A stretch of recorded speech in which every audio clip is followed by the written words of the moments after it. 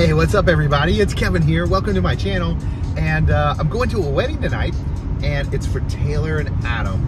And it's a really cool venue. We're going to the Dayton Art Institute, which is a beautiful place. I've been there before as a patron, you know, to visit the art museum, but I've never been there to DJ.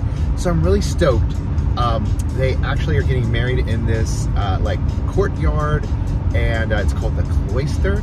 And uh, they're also, uh, the reception is just in a beautiful room and it's just the vibes in there are just great. It's like historic and it's kind of, I don't know, kind of Celtic a little bit with some of the, the artwork and the stonework and things. Anyway, it's beautiful. I've got the car loaded up here and, uh, you know, we're, we're headed up to the venue. As soon as I get in, I'll, uh, I'll show you guys around and show you what I'm working with tonight. You ever, um, you know, like have trouble finding the entrance to a place? Right now I'm cruising around trying to find the back, the back entrance where I know there's a, there's a loading dock and uh, my contact at the venue told me about, you know, the loading dock, showed me the freight elevator when I, uh, when I was at rehearsal last night. I kind of, you know, spotted it, but I didn't see the, the rear, you know what I mean? Like where the actual uh, dock is. So just cruising around trying to find this, this dock. Um, for this venue. Yeah. Well, yeah, I found it. It's kind of a, looks like they're doing some work back here, but anyway, loading dock. You guys, okay, so look at this stained glass window. Okay, okay. Check it out. This is where I'm gonna DJ the reception. Okay, check it out. I'm coming out of this little hobbit door. Look at this door. It's great. All right, check out this place. Look at this It's beautiful. Here's my backdrop right here. It's so great. So I'm like in this back room, little storage area, and they have like wedding supplies and stuff. Table numbers. Look at this. CDs. Very classic. Know what's on here? Level mix. Beethoven, yes. Probably not just for weddings, probably just for the museum vibe. Microphones, batteries. Yo. Yes. So this is a museum, obviously. And uh, check this out, they have a Monet. Pretty cool. Very cool. I mean, is that a thumb? Here comes the drop. Dropping that fire on the dance floor right there.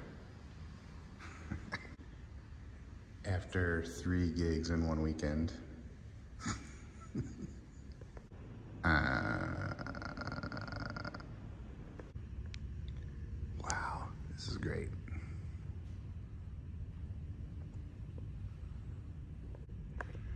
Sir, could you please play some Taylor Swift? They desperately need some tunes. Oh, hey, here's where the ceremony is going to be. Awesome. Ah, too much Nickelback. All right, so here's the place we're in. This is where the reception will be, dinner, dancing, etc. Uh, beautiful big room. And, uh, okay, so I'll show you what I'm working with. So here's my Danny Max Infinity booth, DDJ 1000. Um, my mainstay controller there, my MacBook Pro. Um, and you can kind of see I've got these JBL SRXs here. So I've got two of these and I was a little worried about echo in this room, but I just did sound check and um, actually, as long as you're within the perimeter of the, I don't know if this, this isn't quite an octagon, or maybe it is an octagon. If you're in the perimeter of, of this tile here, the yellowish tile, it sounds really good. Um, behind the speakers, like on this gray slate, like in this back area, there's some echo for sure. Um, but mostly it'll just be me back here. um, and I decided to put my speakers up closer to the dance floor. Obviously, I'm I'm uh, negotiating these tables that are right in my way, but uh, I think it'll be okay. Uh, if I do have a problem with echo later, what I plan to do is take an extra speaker, a fill speaker, and put it on this side of the room such that it will cut down on the echo experience for most of the people at the tables. But just look at this place, it's beautiful. It's beautiful, and I love that we're right in a museum, so I can kind of, you know, walk around and explore. Um, let's see, did I talk about my whole setup? Oh, I've got my Wash FX hexes up here. Um, those are mainstay for me as well. I control those with those wireless Donners connected to my WMX1 Wolf Mix that I love. And of course, you guys have seen in the past, if you follow my channel, I've got all my pre-programmed presets here uh, for the different light shows and such. So I like to interact with with my music uh, and, and, you know, create my own light shows as I go. But yeah, this is the setup for tonight and uh, I'll show you where the ceremony is. All right, this is the cloister. This is where uh, the ceremony will be. And uh, you can kind of see it's another octagon shaped area. Very cool, very cool. We've got like some statues along the outer perimeter and then just cool fountain, cool trees and uh, these gates are freaking awesome. Wrought irons. It's beautiful. So, any case, uh, this is where we're setting up for ceremony, and you can see my rig here in the back. And I'm playing a little bit of double duty today. Um, I'm doing, oh, that's cool. I like those little things. Um, also, look at this, a little ring catcher. All right, so let me tell you a little bit about what I got going on here. This is my JBL um, column array, and I've got this shark fin directional antenna on top, and my mic receivers down here. This is my typical setup. And what I'm doing today here is I am playing double duty. I'm actually coordinating the groomsmen, basically leaving out of this door here. They're gonna all line up here and I'm gonna run over and kind of get them lined up and then I'm going to cue them to go ahead and process over to the uh, where the ceremony will be held. And then all the bridesmaids and the bride herself will be coming out of this these big double doors up in the center. And that'll be cued by the person who's kind of running the show here. But I'm kind of helping her out because she's by herself. So any case I of course go through my process and I'll show you of, you know, I go through this, um, better set down some mics. I go through a group scan, which is under my frequency menu, I can go group scan. And if I click that, what happens is um, all three of these uh, actual receivers are connected by a Cat5 cable, a network cable. So essentially, um, one scan for the group will scan frequencies in the area and make sure that uh, you know they're clear.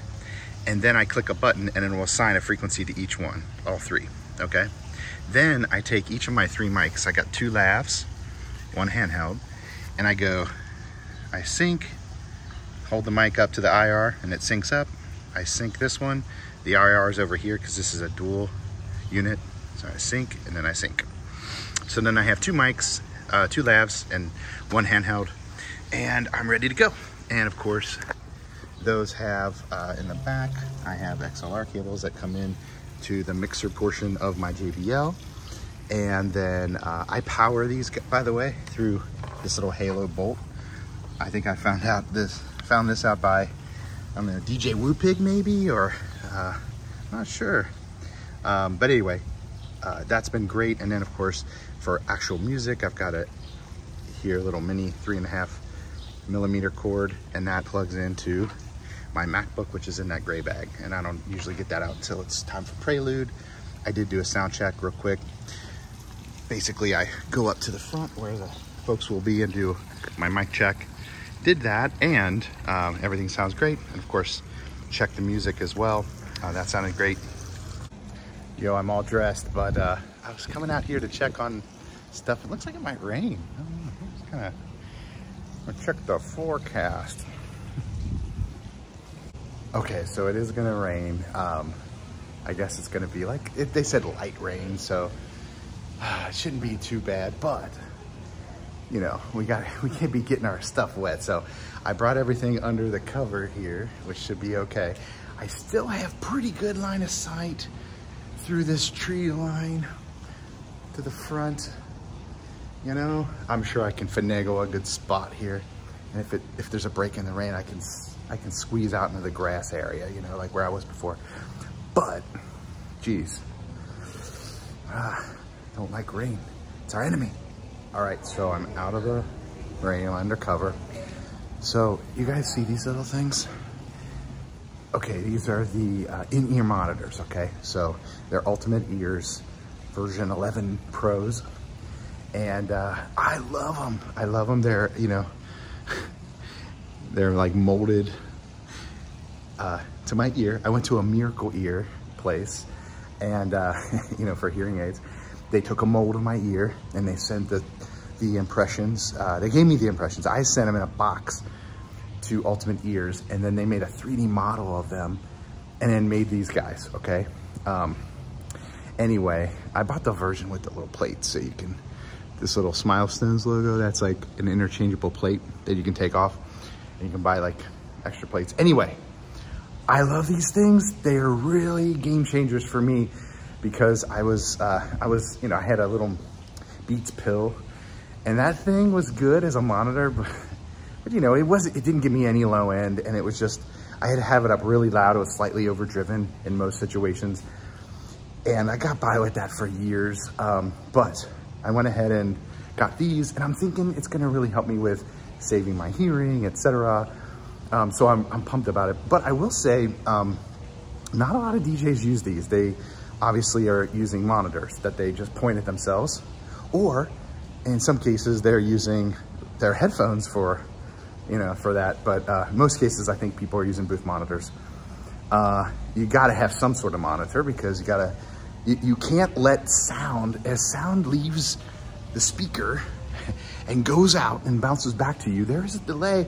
And if you don't have some sort of monitor, a direct audio source pointed at you to your ear, you are gonna be off when you try to mix. You're not gonna be able to hear the nuance and the, the exact timing of things. So definitely need some sort of monitor, but uh, these guys, I would say, probably not a lot of DJs are using them. I mean, I know uh, some folks use them like maybe Joe Bunn, um, some of the, you know, DJ heroes from YouTube and whatnot, uh, Mojaxx, but um, I, I, will never go back. I, I love these things but I'm, I wouldn't endorse them to everyone. Like, I don't think they're for everybody. Um, so I was just talking to another DJ actually and saying like, I think probably like 1% of DJs use these. I'm not saying like I'm top 1% or anything like that. I'm just saying like, I don't think a lot of DJs use them and I don't think they're necessary, but I do think they can help save your hearing. And they're really clutch too, because the Ultimate Ears, they come with a little tiny, I don't know if you can even see it. There's like a little porthole at the bottom probably can't see it, but they drill a little porthole in it for a couple extra bucks.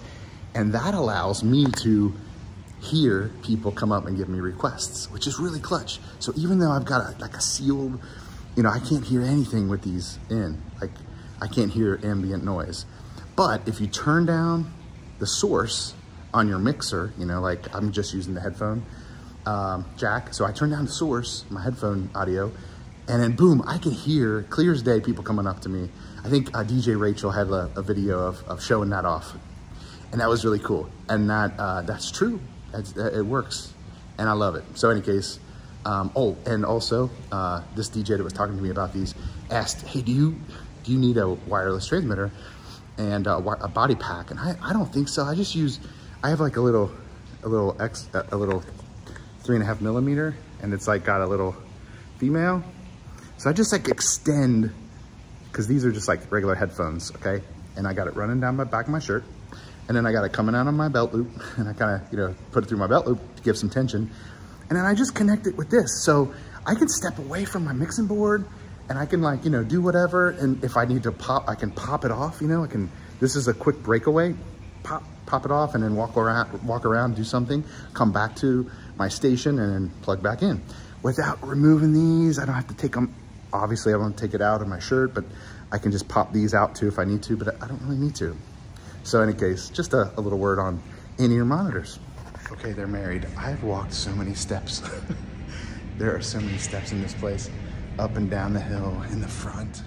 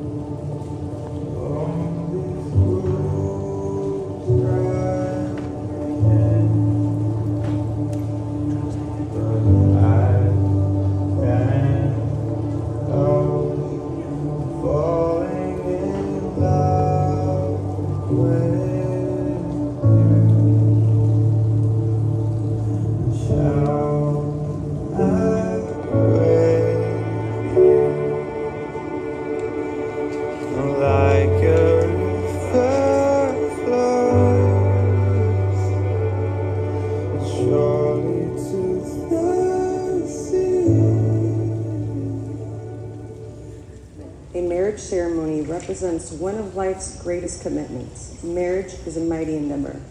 It calls us to share the best of our lives. It inspires our deepest motivations when the happiness of another person is essential to our own happiness. Do you take this woman to be your wife, to live together in holy matrimony, to love her and honor her, to comfort her and to keep her in sickness and in health, forsake all others as long as you both I do. Taylor, do you take this man to be your husband, to live together in holy matrimony, to love him, to honor him, to comfort him, and to keep him in sickness, health, forsake others as long as you both shall live? I do. Rings, rings.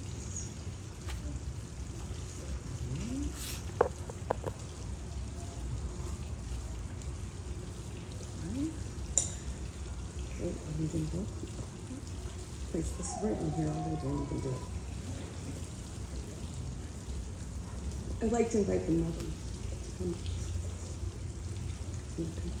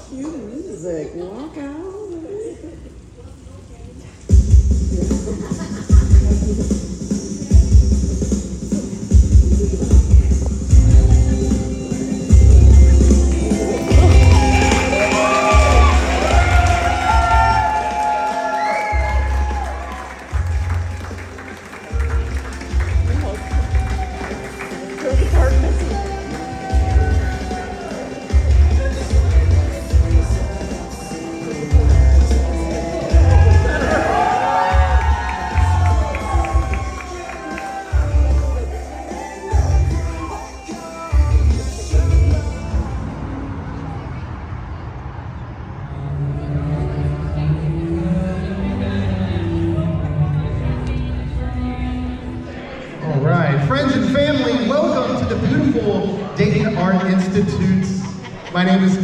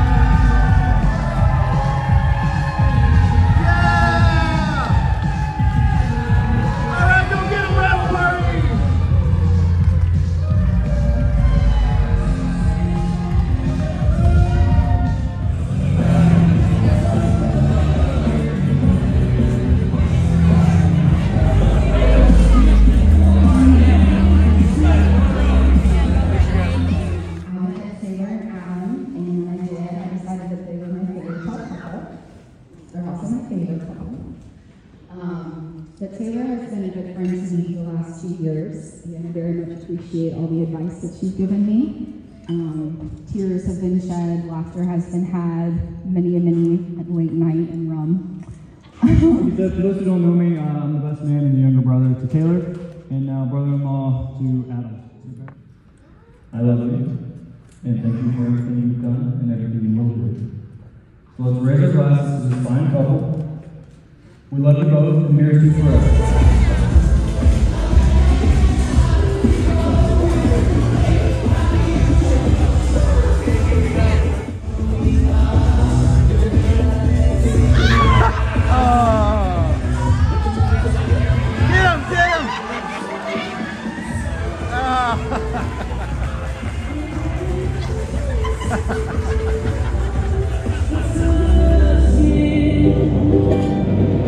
If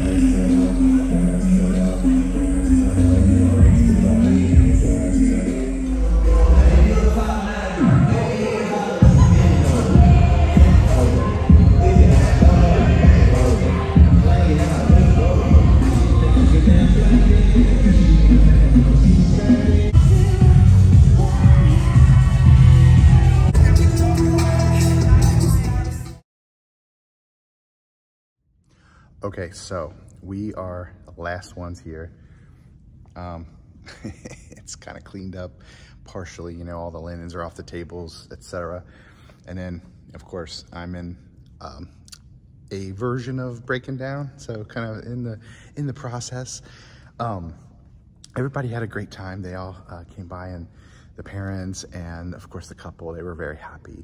Uh, we had a lot of fun. You probably saw from the footage um, from the gig log um, and the uh, video that I produced. Uh, you know, produced for the couple and uh, included. It was a good, good event. It was a little hard to get folks started in terms of um, dancing. Uh, I had a lot of, I think, people with different kind of, you know, music tastes. And that's always, you know, you have folks that usually there's a pocket or like a Venn diagram, if you will, of like people's tastes. And in weddings, you try to hit that center point where you're to get a lot of people. You're to kind of maximize um, people's excitement and enjoyment um, with the most people, you know, to attract the most people. But, you know, sometimes it's hard because, you know, the couple and other people have like very specific tastes and, you know, but that's our job as a DJ to try to, um, you know, maybe drop in some of those gems, especially for the couple, because this couple had some really, you know, specific tastes, and I think we we nailed it. I think we we nailed it, and uh, I think we did okay. So anyway, I'm signing off. I'm gonna pack up and then uh, get out of here and go home. So thanks for watching my gig log. See you guys.